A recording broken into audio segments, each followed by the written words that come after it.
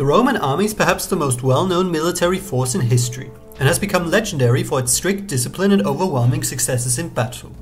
Given the reputation that the legions enjoy for their hardiness and effectiveness, it's almost as though an air of invincibility surrounds them.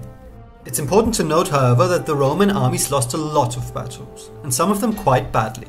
But the Roman army possessed a unique ability that proved impossible for their enemies to match and made it an all but hopeless task to totally defeat Rome. Concisely put, what set the Romans apart was their ability to immediately raise new armies even after devastating defeats.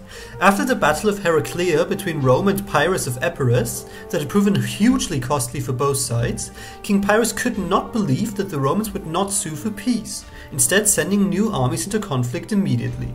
Similarly, when Hannibal invaded Italy, he was flabbergasted by the Romans' ability to raise new armies each time, almost immediately after suffering three catastrophic defeats and losing over 100,000 men at the Trebia, at Lake Trasimene and Cannae, in the space of less than two years. But how is this possible?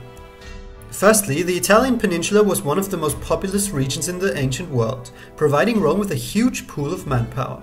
Secondly, the Roman army was comparatively cheap to maintain, as the Romans recruited primarily from poor social classes, who were willing to fight much cheaper than expensive mercenaries hired by Rome's enemies.